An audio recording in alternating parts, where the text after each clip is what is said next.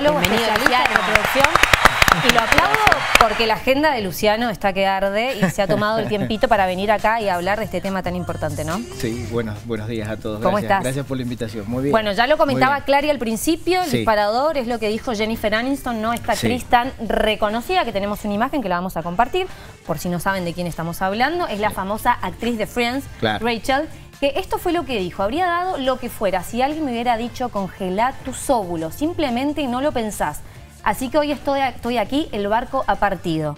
¿Es así? ¿Ya no tiene chance? Y ella, eh, hablábamos recién, creo, que- creo que tiene como 52. 52 Ujú. años, ya este, con sus óvulos el barco le partió. Lamentablemente ya este, no va a poder ser mamá ella si quisiera este, con sus propios óvulos porque eh, ya no tiene, no tiene ni cantidad ni tiene calidad. Este, este tema de los óvulos que, a ver, el, el- el enojo que tiene Jennifer Sí. este, tiene que ver muchas veces con muchas veces lo que nos pasa a nosotros también en el consultorio. Que a veces por una falta de, de información, que tiene que ver con un montón de aspectos y que también da para una charla eterna, muchas veces los pacientes llegan tarde. Este, punto número uno. Sí. Eh, hasta nuestros abuelos todo funcionó fabulosamente bien porque ellos buscaban sus embarazos este, entre los 17 y 25 años. El momento en el cual nosotros como raza humana tenemos nuestro pico de fertilidad. Mira. Perfecto.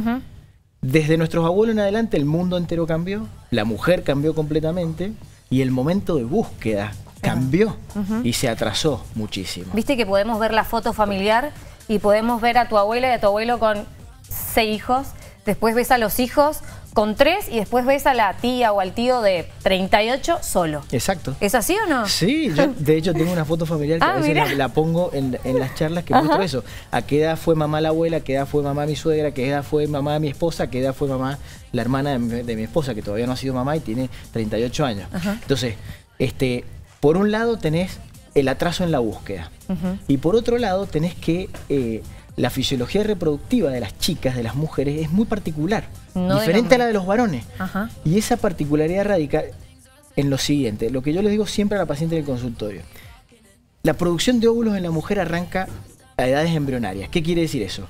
Cuando vos, Clara, estaban en la panza de su mamá y tenían 12 semanas de vida, hay un lugar del embrión femenino que se llama cresta neural, que es la fábrica de óvulos.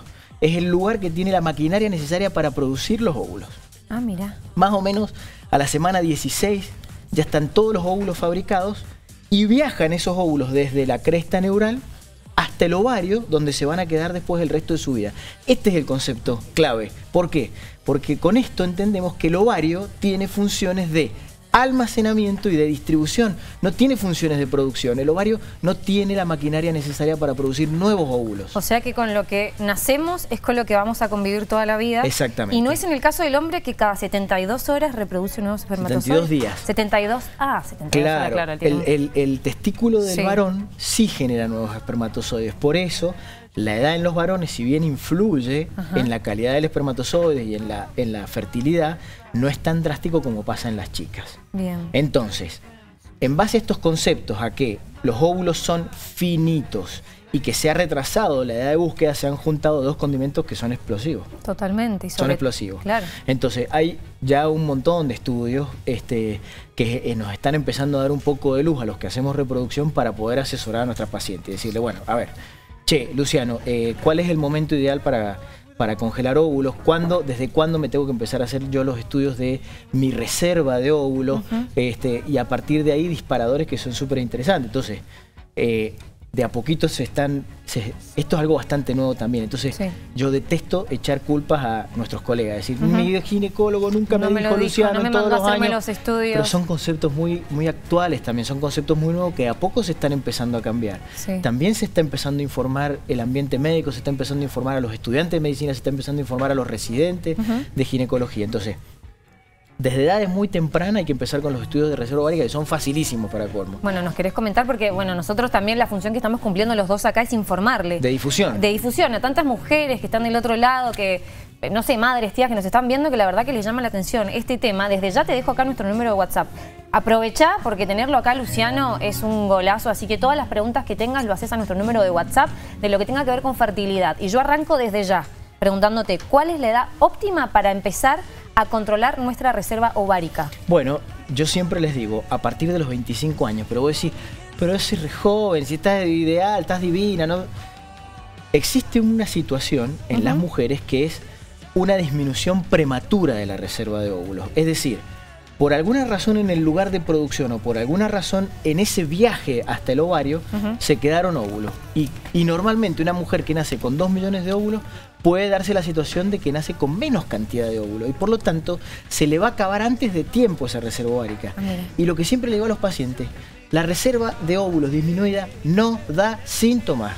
Dani, no da síntomas. vas a seguir con tus ciclos menstruales iguales. ¿Vas, a ovular igual? Igual, igual, no da síntomas. Cuando ya empezás con síntomas, con alteraciones del ritmo menstrual, ya es tarde.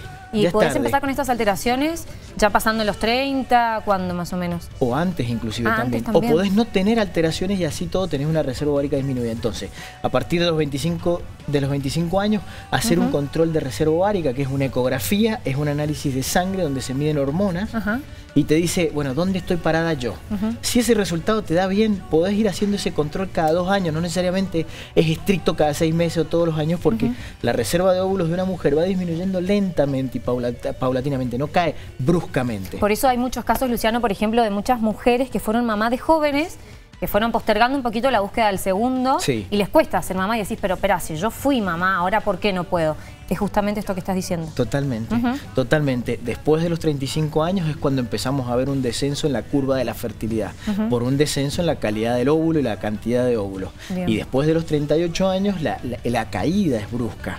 Este, básicamente porque el, el óvulo, este, por más de que le queden óvulos a la mujer, como viene desde el momento del nacimiento, a medida que va pasando el tiempo, este, empieza a disminuir su calidad. Y yo siempre le digo también a las pacientes, la, disminución de la calidad del óvulo no tiene que ver con el aspecto del óvulo. Cuando hacemos una fertilización in vitro y veo un óvulo de una chica de 20, de una chica de 30 y de una chica de 40, el óvulo al microscopio se ve idéntico.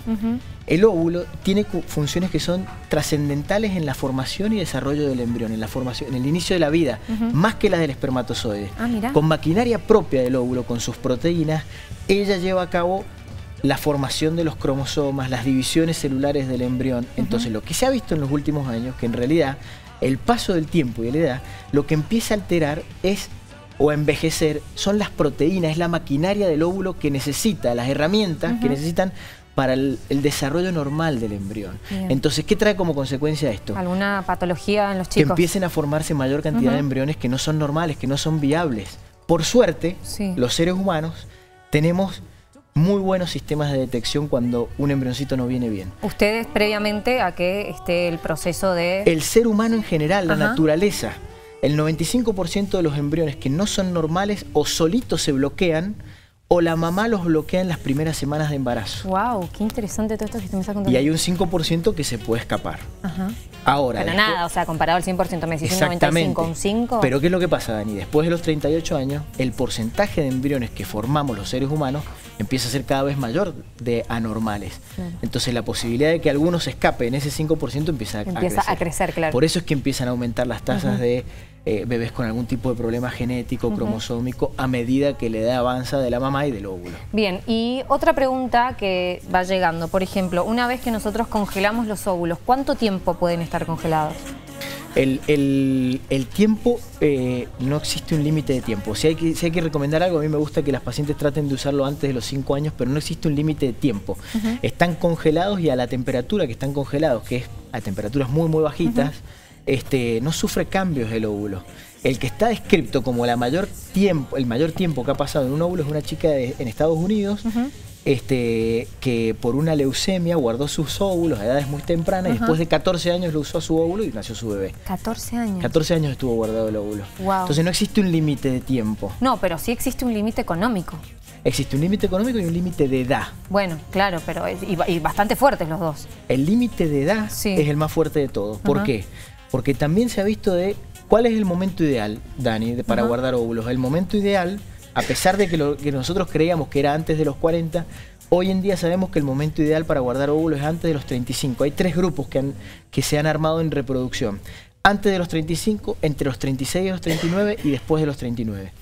Esto lo sabemos porque las pacientes que guardaron óvulos en diferentes edades y los empezaron a utilizar, se empezaron a ver cuáles eran las que más se embarazaban y las que menos se embarazaban. Ah, El grupo de pacientes de menos de 35 años que guardó óvulos fue la que mejores resultados tuvo después cuando los necesitó usar.